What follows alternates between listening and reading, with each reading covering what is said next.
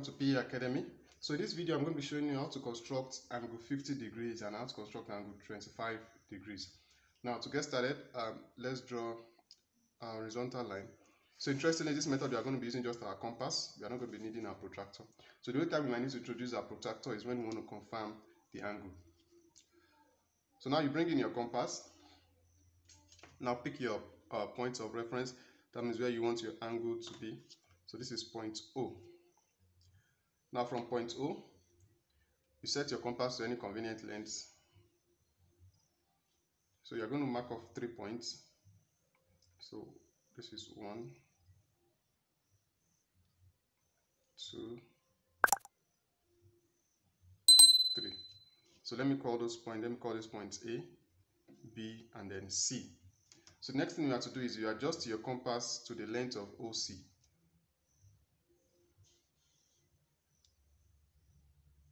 So this is it. So this is the length of OC. So if you look at it, OC.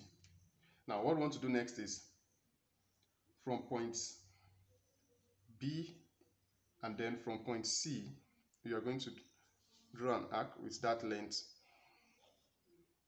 Then you come to point B.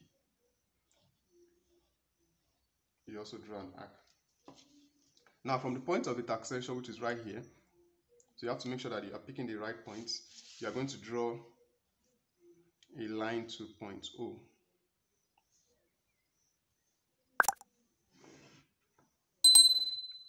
Now in doing that, this angle that we just have here is give us angle 50 degrees.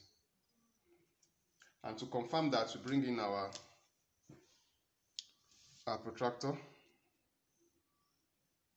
So if you look at it so this is angle 50 degrees.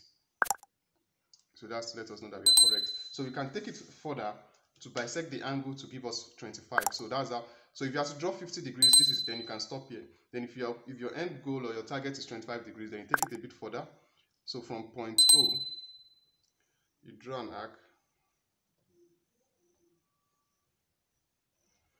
I haven't done that. So the point of intersection of that arc we've just drawn on this line and this line.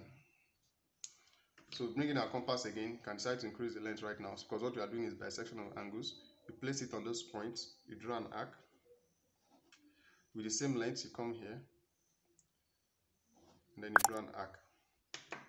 From the point of intersection, you draw it to point O.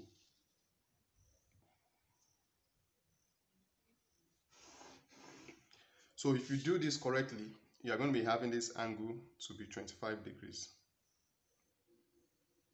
25 degrees. So so that is it on how to construct angle 50 and angle 25 degrees. So i hope uh, you find this video uh, video helpful. If you do please give it a thumbs up.